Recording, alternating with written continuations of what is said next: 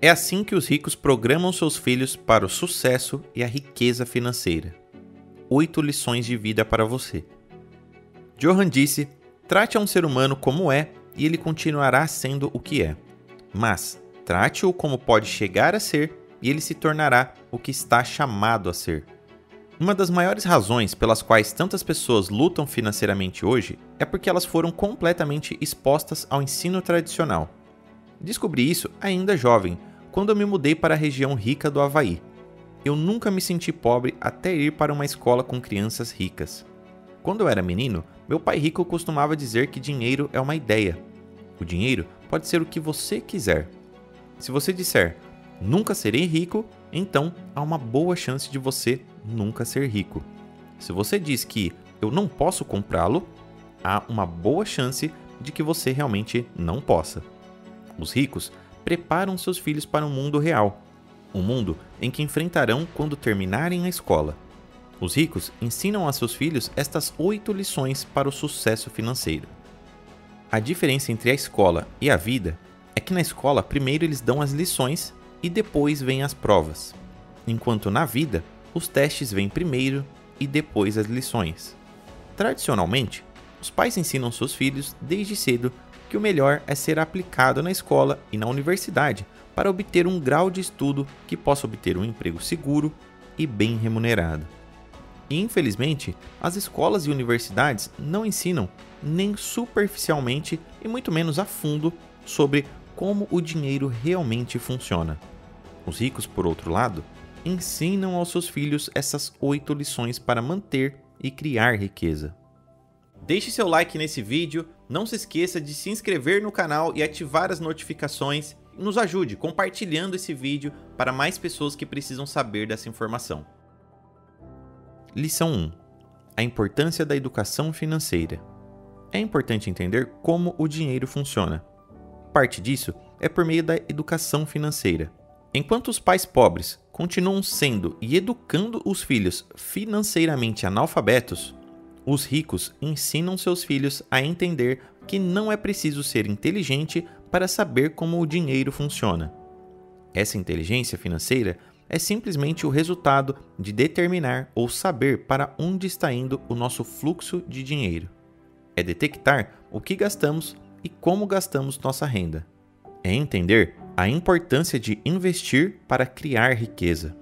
Em palavras simples, é o planejamento de nossas finanças. Há pessoas que ganham muito dinheiro, porém se encontram com problemas financeiros no final do mês, ou pessoas que durante seus primeiros anos de vida têm uma renda tão boa mas no final de suas vidas se encontram mergulhados na pobreza, e eles não explicam no que todo o dinheiro foi gasto.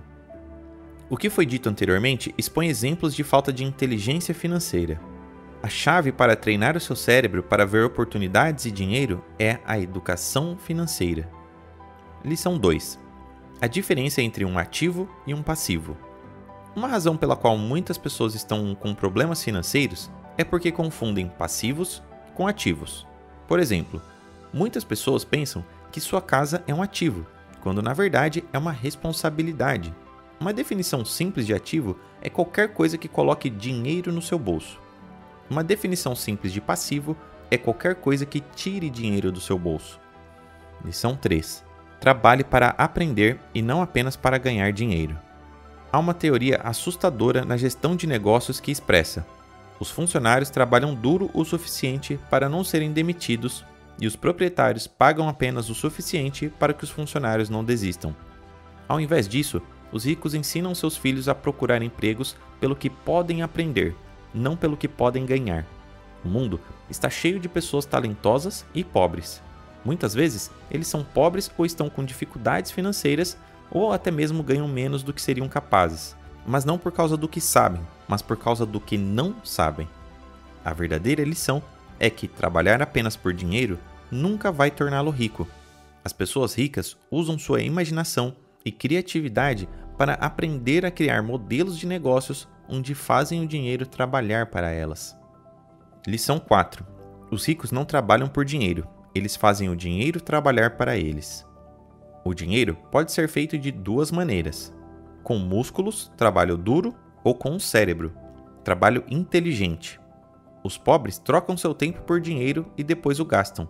Os ricos usam o dinheiro que recebem para criar mais dinheiro. Lição 5: Resolver problemas é a maneira mais rápida de ficar rico. As pessoas vão pagar muito dinheiro para resolver seus problemas.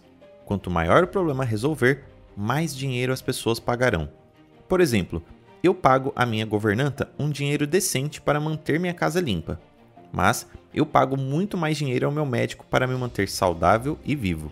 Porque eu posso viver com uma casa suja, mas eu não posso viver com uma doença. Quanto mais trabalhamos para resolver esses problemas e encontrar soluções para os maiores que encontramos, mais dinheiro ganhamos. Lição 6: A diferença entre dívida boa e dívida ruim. Dívidas ruins tornam você pobre, enquanto dívidas boas tornam você rico.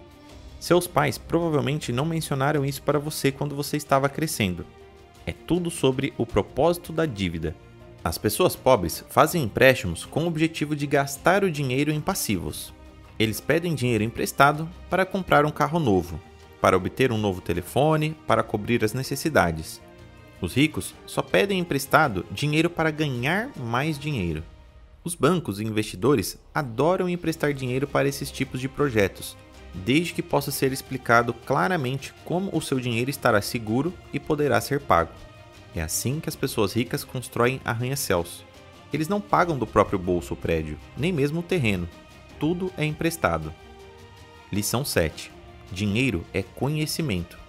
Porque é o que você sabe, não o que você tem que te deixa rico. O conhecimento de Mark Zuckerberg sobre a tecnologia da internet permitiu que ele construísse o Facebook. Ele também sabe como montar uma equipe e encontrar pessoas mais inteligentes do que ele para tornar o Facebook maior e melhor. O ativo mais importante que temos é a nossa mente. Se estiver bem treinada, poderá criar grandes quantidades de riqueza. Investir nesse ativo significa aumentar sua educação, aprender coisas novas experimentar novas experiências e gastar tempo aumentando ativamente o seu conhecimento. O melhor de tudo é que hoje investir em sua mente é um dos poucos ativos que não precisa lhe custar um centavo. Com a variedade de cursos online e palestras gratuitas disponíveis, você pode investir em sua mente todos os dias e se beneficiar dos resultados. Os ricos sabem que, se querem que seus filhos sejam ricos, devem primeiro investir em si mesmos antes de começarem a investir em qualquer outra coisa. Esta é uma lição que poucas pessoas parecem entender. Lição 8: Economizar para investir. Os ricos ensinam seus filhos que, além de investir em seu aprendizado, economizar também é pagar a si mesmo em primeiro lugar. Economia com o objetivo de investir para criar riqueza que lhe permite iniciar um negócio que gera rendimentos econômicos estáveis e duradouros. Lembre-se, é melhor trabalhar alguns anos tentando criar um ativo do que passar a vida inteira criando para outra pessoa. Como você pode ver, não faltam lições e ensinamentos se você está procurando como ensinar finanças pessoais para crianças.